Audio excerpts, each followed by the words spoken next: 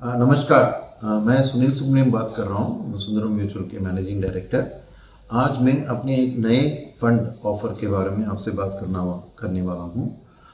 Fund का नाम है सुंदरम इक्विटी फंड। क्या खासियत है इस फंड में और ये टाइमिंग में क्यों लॉन्च कर रहे हैं?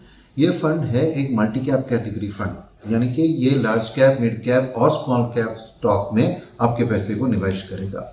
और आपको पता है कि आपने इक्विटी मार्केट से थ्रू म्यूचुअल फंड बहुत पैसा बनाया है over the long term but shorter term में आप देखेंगे तो रिस्क और वॉलिटिलिटी स्टॉक मार्केट में ज़्यादा होती है और अगर आपने एक मिड कैप या स्मॉल कैप या लार्ज कैप में अलग निवेश किया होगा तो वॉलिटिलिटी आपके साथ ही आई होगी आपके पोर्टफोलियो में। तो ये फंड क्या करने वाला है कि आपको, आपके पैसे को एक लॉन्ग टर्म सेक्टर आउटलुक को लेकर, एक टॉप डाउन अप्रोच सेक्टर को चुनकर और फिर एक bottom of stocking stock picking के थ्रू अच्छे स्टॉक को पिक करके लार्ज कैप मिड कैप और स्मॉल कैप क्षेत्र में एक अच्छी रिटर्न देने वाली स्टॉक को चुनने वाला है। और इस कोशिश में जहाँ की रिटर्न को ढूंढते वक्त वॉलेटिलिटी साथ आती है तो इसमें ये ब्लेंड करने की कोशिश करेगा कि कई स्टॉक एक अच्छे कंटिन्यूस ग्रोथ वाली बिज़नेस जिसको हम सेक्युलर ग्रोथ बिज़नेस कहते हैं अंग्रेज़ी में, ऐसे स्टॉक में निवेश करेगा। और जो साइक्लिकल होते हैं, यानी उनमें उतार चढ़ाव होता है, जैसे कि इकोनॉमी में साइकिल्स होती है, उनके साथ ये स्टॉक्स भी एक साइक्लिकल तौर से बिहेव करती है, उनकी अर्निंग्स के ऊपर और स्टॉक मार्केट के प्राइस के ऊपर।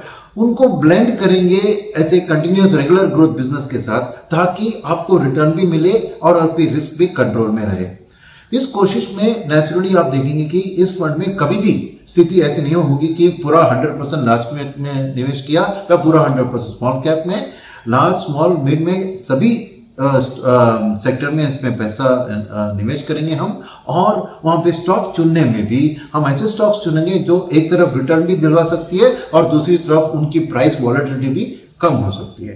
यानी कि आप एक मीडियम टर्म आउटलुक से देखेंगे तो आपके हर इक्विटी की जो पोर्टफोलियो में आपको ये ऐसी फंड को कंपलसरी एक भाग रखना पड़ेगा, क्योंकि इस फंड में आपको एक रिस्क रिवॉर्ड मैनेज किया हुआ रिटर्न आपको मिल सकती है इसलिए मैं आपको बहुत स्ट्रांगली रिकमेंड करूँगा कि आप इस फंड न्यू फंड ऑफ़र को इवेल्युएट करें और इन्वेस्ट भी करें thank you Mutual fund investments are subject to market risks. Read all scheme related documents carefully.